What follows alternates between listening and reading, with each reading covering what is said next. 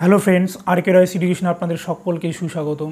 বন্ধুরা, আপনারা ইতিমধ্যেই জেনে গেছেন যে West Bengal board of primary এডুকেশনের পক্ষ থেকে, পর্ষদের পক্ষ থেকে প্রাথমিক শিক্ষকের যে টেট পরীক্ষা, প্রাইমারি টেট দু হাজার বাইশ অনুষ্ঠিত হতে চলেছে আগামী এগারোই ডিসেম্বর দু হাজার বাইশ তারিখে। ওয়ান থেকে ফাইভ পর্যন্ত শিক্ষক নিয়োগের জন্য এই যে প্রাইমারি টেট পরীক্ষা দু হাজার বাইশ, তার, এ টু জেড সমস্ত খুঁটিনাটি তথ্য সমস্ত নিয়মকানুন, সমস্ত রুলস আমি আপনাদের সামনে আজকের এই ভিডিওতে প্রকাশ করব। অনেকের অনেকে প্রশ্ন অজানা আছে, অনেকের অনেক কিছুতেই সংশয় আছে, সমস্ত সংশয় এই ভিডিওর মাধ্যমে দূর হয়ে যাবে। এই যে পর্ষদে যে নোটিফিকেশনটি বের করেছিল, এই নোটিফিকেশনটির মূল ভিত্তি হচ্ছে এনসিটির যে পূর্বে প্রকাশিত তিনটি নোটিফিকেশন সেই তিনটি নোটিফিকেশন খুবই গুরুত্বপূর্ণ। একটি হচ্ছে দু হাজার দশ সালে প্রকাশিত করেছিল দ্বিতীয়টি দু হাজার আঠেরো সালে এবং তৃতীয়টি দু হাজার একুশ সালে এনসিটি প্রকাশিত করেছিল। এই তিনটি নোটিফিকেশনের উপর ভিত্তি করেই কিন্তু প্রাইমারি পর্ষদ টেট পরীক্ষা নিতে চলেছে দু হাজার বাইশ সালে। তো প্রথমে এই তিনটি নোটিফিকেশনে কি বলা আছে? এই তিনটি নোটিফিকেশন আপনাদেরকে ভালো করে বুঝতে হবে, আপনি এলিজিবল কিনা, আপনি টেট পরীক্ষায় বসতে পারবেন কিনা তার জন্য।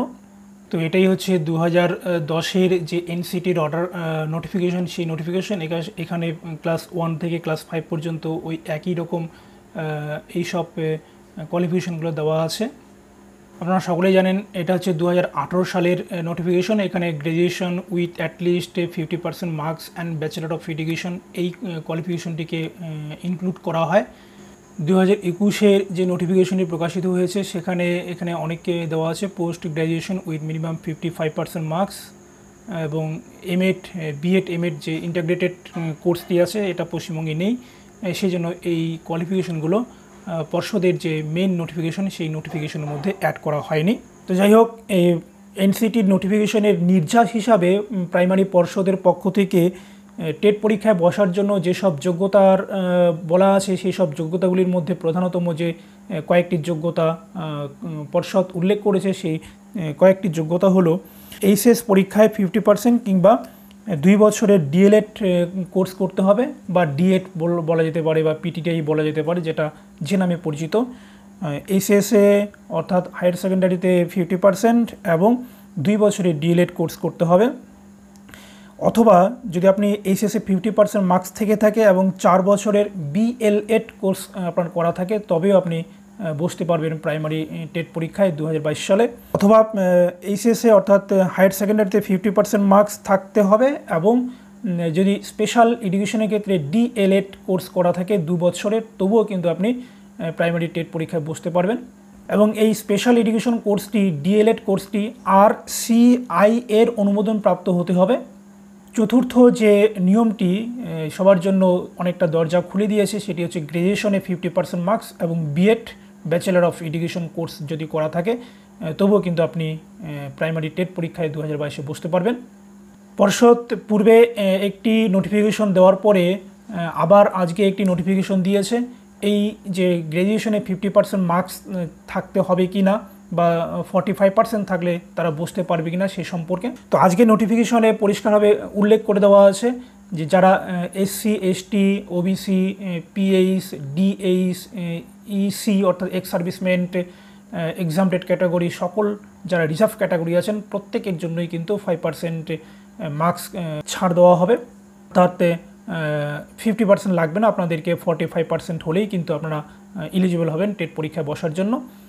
এক্ষেত্রে এইচএস কিংবা গ্র্যাজুয়েশনে যদি আপনার ফর্টি ফাইভ পার্সেন্ট মার্কস থাকে, যারা রিজার্ভ ক্যাটাগরিতে আছেন, আপনারা অবশ্যই বুঝতে পারবেন। এখানে আপনারা জানেন পিএইচ বলতে ফিজিক্যালি হ্যান্ডিক্যাপড ক্যান্ডিডেটদেরকে বোঝাচ্ছে এবং ডিএইচ বলতে বোঝাচ্ছে ডেথ ইন হারনেস অর্থাৎ কোনো ব্যক্তি অবসর গ্রহণের পূর্বে যদি মারা যান এবং তার পরিবারের যদি কেউ থেকে থাকে যোগ্য ব্যক্তি, তাহলে সেই পরিবারের যিনি মারা গেছেন, তার সার্টিফিকেট তার কাগজপত্র যদি আপনার কাছে থেকে থাকে, তাহলে আপনি ডিএইচ ক্যাটাগরির অন্তর্ভুক্ত হবেন।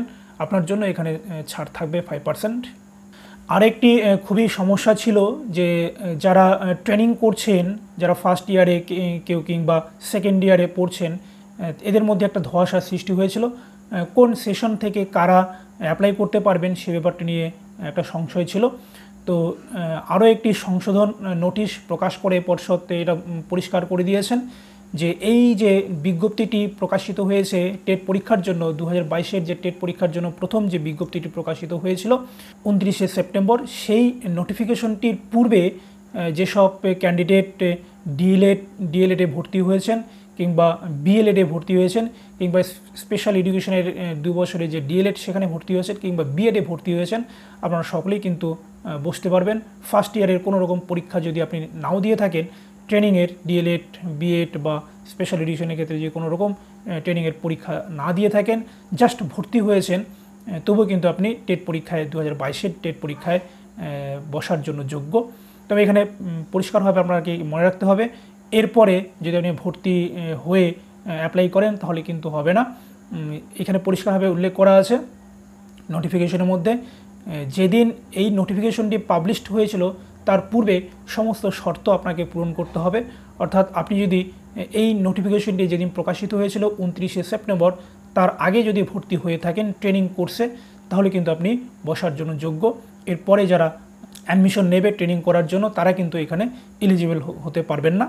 এবার কীভাবে অ্যাপ্লিকেশন করবেন স্টেপ বাই স্টেপ প্রত্যেকটা পয়েন্ট টু দ্য পয়েন্ট আমি আপনাদের সামনে ভিডিও নিয়ে আসব। লাইভ কীভাবে অ্যাপ্লিকেশন করবেন, সমস্ত তথ্য নিয়ে স্ক্রিন রেকর্ডিং করে আমি আপনাদের সামনে নিয়ে আসব। সেজন্য চোদ্দ তারিখের পরেই হয়তো অ্যাপ্লিকেশন করার লিঙ্ক খুলে যাবে। তো আপনারা তাড়াহুড়ো করে অ্যাপ্লিকেশন করবেন না। প্রথম দু একদিন বাদ যাওয়ার পরে আপনারা অ্যাপ্লিকেশন করবেন। অবশ্যই আমার যে লাইভ স্ক্রিন রেকর্ডিংয়ের সহজে আমি আপনাদের অ্যাপ্লিকেশনটা শেখাবো। সেই অ্যাপ্লিকেশন ভিডিওটি অবশ্যই আপনারা দেখে নেবেন। অ্যাপ্লিকেশন হওয়ার পরে এগারোই ডিসেম্বর যে টেট পরীক্ষাটি হবে, সেই টেট পরীক্ষায় দেড়শো নম্বরের মধ্যে পরীক্ষা হবে। টোটাল মার্কস থাকবে দেড়শো নম্বর এবং কোয়ালিফাইং মার্কস থাকবে ষাট সিক্সটি পার্সেন্ট। যারা জেনারেল আছেন, তাদের সিক্সটি পার্সেন্ট। যারা রিজার্ভ ক্যাটাগরিতে আছেন, তাদের ফিফটি ফাইভ পার্সেন্ট মার্কস লাগবে। তো টেট সম্পর্কিত কীরকম প্রশ্ন হবে তার প্যাটার্ন কীরকম হবে, কীভাবে পরীক্ষা হয়, সমস্ত তথ্য নিয়ে আলাদা একটা ভিডিও আছে। সেই ভিডিওটা আপনারা অবশ্যই দেখে নেবেন। আপনারা যারা টেট পরীক্ষা দিচ্ছেন, আপনাদের অনেকেরই হয়তো জানা আছে, অনেকেই জানেন না যে টেট পাস করা মানেই কিন্তু আপনার প্রাইমারি শিক্ষকতায় পেশায় আপনি যুক্ত হতে পারবেন না। প্রাইমারি শিক্ষক নিয়োগ হওয়ার জন্য প্রাথমিক যেটা কোয়ালিফিকেশনের দরকার হয়, সেই রকম একটি ডিগ্রি কিংবা একটা সার্টিফিকেট আপনি লাভ করবেন এই টেট পাসের মাধ্যমে। আপনাকে একটা টেট পাস সার্টিফিকেট দেওয়া হবে। এই সার্টিফিকেটের ভ্যালু ভ্যালিডিটি থাকবে লাইফ টাইম আপনার যতদিন বয়স থাকবে পরীক্ষায় বসার জন্য ততদিন পর্যন্ত আপনি এই সার্টিফিকেটের বলে আপনি প্রাইমারি শিক্ষক নিয়োগের ক্ষেত্রে আপনি অ্যাপ্লাই করতে পারবেন। প্রাইমারি শিক্ষক আপনি হবেন না জাস্ট প্রাইমারি শিক্ষক হওয়ার যে প্রথ- প্রাথমিক যোগ্যতা সেটা আপনি অর্জন করলেন প্রাইমারি টেট পাস করার পর। এখানে আরেকটি বিষয় খুবই গুরুত্বপূর্ণ যে গ্র্যাজুয়েশনে যে ফিফটি পার্সেন্ট মার্কস দরকার হবে জেনারেল ক্যাটাগরিদের জন্য এবং ফর্টি ফাইভ পার্সেন্ট মার্কস দরকার হবে রিজার্ভ ক্যাটাগরিদের জন্য। তো এক্ষেত্রে অনার্সে কিংবা পাসে যে নম্বর থাকে সেই নম্বরগুলির ওভারঅল হিসাব করবে নাকি যারা অনার্সে ভর্তি হয়েছিল তাদের শুধু অনার্সে এবং যারা পাসে ছিল তাদের শুধুমাত্র পাসের মার্কসেই দেখা হবে। সেই বিষয় নিয়ে কিন্তু পর্ষদ এখনও পর্যন্ত কোনো রকম পরিষ্কার নোটিফিকেশনে কোনো কিছু উল্লেখ করেনি। তবে পূর্বের অভিজ্ঞতা থেকে আমরা যেটা জানতে পারি। অর্থাৎ দু হাজার একুশে বা কুড়িতে যে রিক্রুটমেন্টটা হয়ে গেল দু হাজার চোদ্দোর রিক্রুটমেন্টের সেক্ষেত্রে কিন্তু আমরা দেখেছি যেসব ক্যান্ডিডেটদের ওভারঅল ফিফটি পার্সেন্ট মার্কস আছে, কিন্তু অনার্সে তাদের ফিফটি পার্সেন্ট মার্কস নেই, তাদের কিন্তু কাউন্সিলিং পর্যন্ত গিয়েও তারা কিন্তু জব পায়নি। তো এখানে পরিষ্কারভাবে তাদের যে গাইডলাইন সেই গাইডলাইনে কিন্তু উল্লেখ করে দেওয়া ছিল যে যারা অনার্স গ্র্যাজুয়েট তাদের শুধুমাত্র অনার্সের উপর মার্কসটা ক্যালকুলেশন হবে। আটশোর মধ্যে আপনি কত পার্সেন্ট পেয়েছেন সেটা নির্ভর করবে এবং যারা পাস গ্র্যাজুয়েট তাদের পাসে যাদের যে নম্বরটা পেয়েছেন সেই নম্বর অনুযায়ী মার্কস ক্যালকুলেট হবে। যারা অনার্স গ্র্যাজুয়েট তাদের অনার্সের নম্বর এবং পাসের নম্বর মিলে ওভারঅল কিন্তু এখানে ক্যালকুলেশন করার কোনো রকম কথা বলা নেই। আলাদা আলাদাভাবে করা আছে।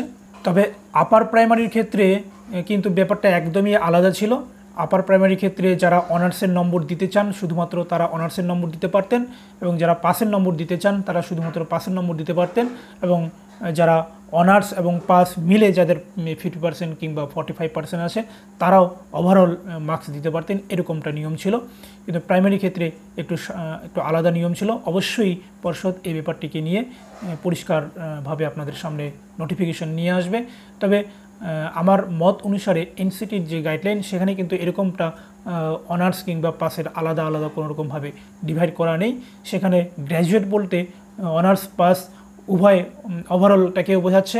তো বন্ধুরা নেক্সট কীভাবে টেট দু হাজার বাইশের অ্যাপ্লিকেশন ফর্ম ফিল আপ করবেন সেটা অনলাইনে সেটা আমার এই ভিডিওতে পেয়ে যাবেন। তার জন্য অবশ্যই অপেক্ষা করুন এবং তো আজ এই পর্যন্তই। ভালো থাকবেন, আমার সাথে থাকবেন। থ্যাঙ্কস